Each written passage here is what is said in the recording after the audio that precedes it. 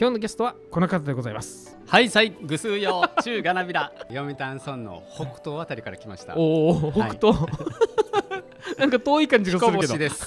あ違いましたえー、横田自治会長のなるほど。えーそういうことか。秀樹です。よろしくお願いします。はいはいよろしくお願いいたします、はい。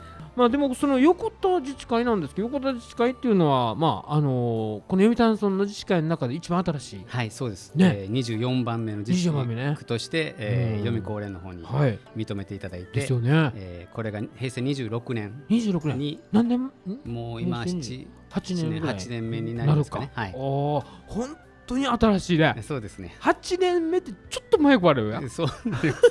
平成26年もねね。ややっぱちょっとこはですからだよね。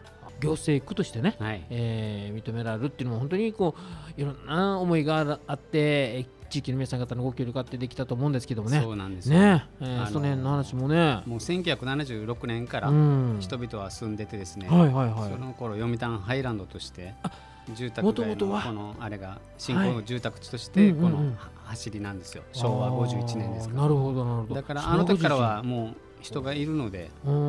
だから昔はなんかその他組みたいな。顔が見えるということであればさあの活動的なものもそうなんですけどまああの祭りとかね、まあ、コロナ前とかは、あのやってた自治会祭りみたいなのもね、うんやっててああいうの時とかはもう結構こう参加者って多かったんじゃないですかじゃあ。比率としては。そうですね。で、うん。あのー結構こうせ一昨年うん。このコロナが始まる前だから、うんうんうんうん。まあ一昨おととし年。ぐらいに、うん。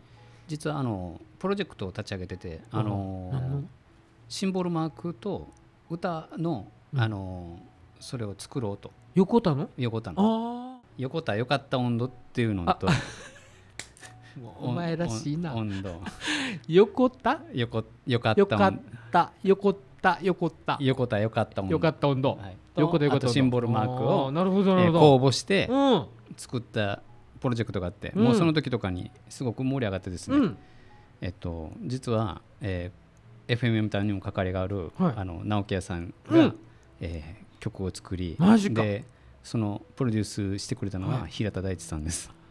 なんていう贅沢なでで直その樹屋と平田大地をミックスコラボさせたのは初めてだったらしいです。平田さん自身も直樹屋さん楽しみにしてたんですよみたいな感じで本当かな。やってましたけど 本当になんか本当すスパークしました。へー。でそれの時に直樹屋さんもライブさせたんですけど、もうめっちゃ盛り上がってですね、なるほど。そのあのシンボルマークの発表と祭りとかでやったりしてあそうなんだ。もうこの時にはじゅあの住宅うん。以外の人たちもいっぱい来ててですねもうすごく盛り上がってました。まさにこう横田がもう PR された。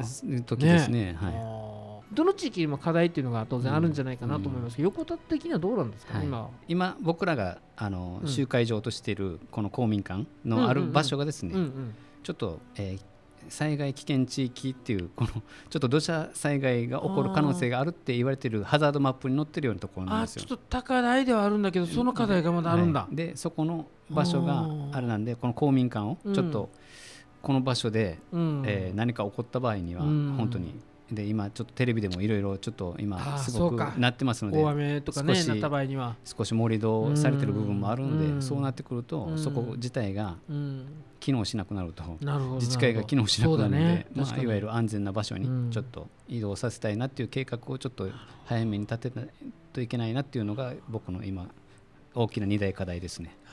ね